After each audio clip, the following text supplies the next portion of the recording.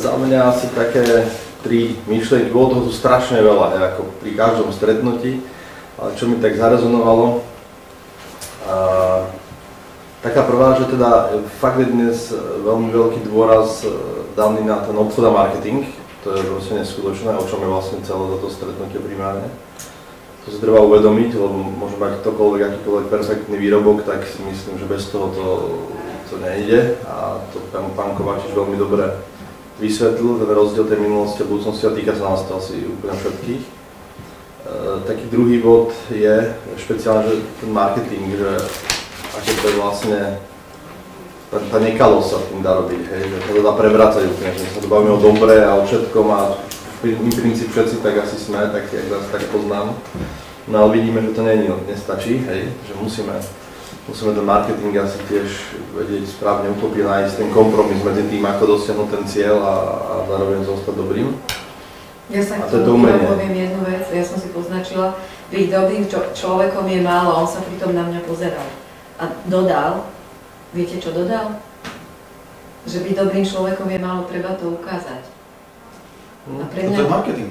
To je marketing a práve to je, ten, to, je ten, to je to, čo si myslím, že ukazovať dobro je na dlhšiu trať ako ukazovať zlo. Áno, lebo to, ale on to aj povedal, že to zlo, to, to zlo vyčítia noviny a médiá a, a lepšie na to reaguje ľudský mozog. Je ten ochranný mechanizmus v amygdale týmto spôsobom funguje. To znamená, že ľahko sa ukazuje zlo, ale to dobro sa veľmi ťažko ako keby šíri. O to je to náročnejšie. Ale, ale ak to stále máme v podvedomí a budeme to robiť, tak tá cesta na alebo to svetlo na konci tunela je, len to proste na namáhavé a nie každý to proste uvádza.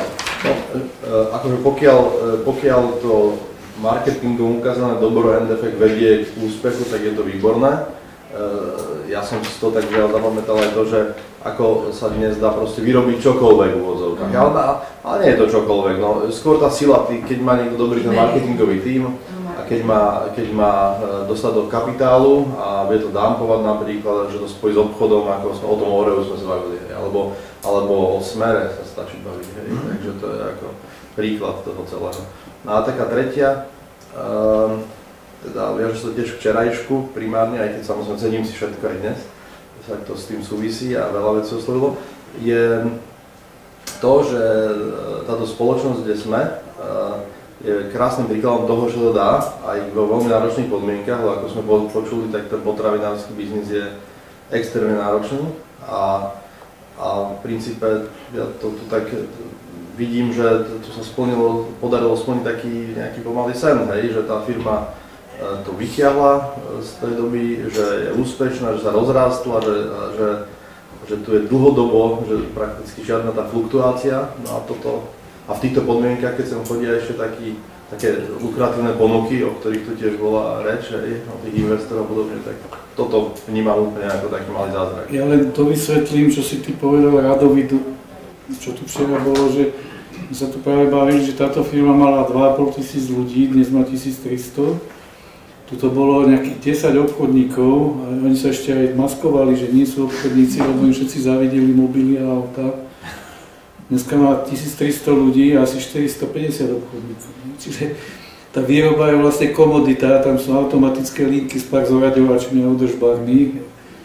A že, že, že tá štruktúra tej firmy, sa, ale ten biznis sa takto isto mení. Tá výroba je komodita obecne a obchod, marketing a, a, a design a, a inovácie, tam je tá pridaná hodnota.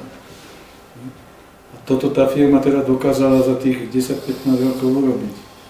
A rozpočet, keď tu včera zaznel, že 15 miliónov eur je rozpočet na marketing ročne, čo je po 10% z obratu, vyše 10%, tak to je tiež veľké číslo pomerne na, na to, keď tu kedysi ľudia rozprávali, ja si ešte pamätám, že, že to tam do televízie reklamu dávajú, koľko to stojí a do toho sveta socializmu, či to už nebol svet socializmu, že, že...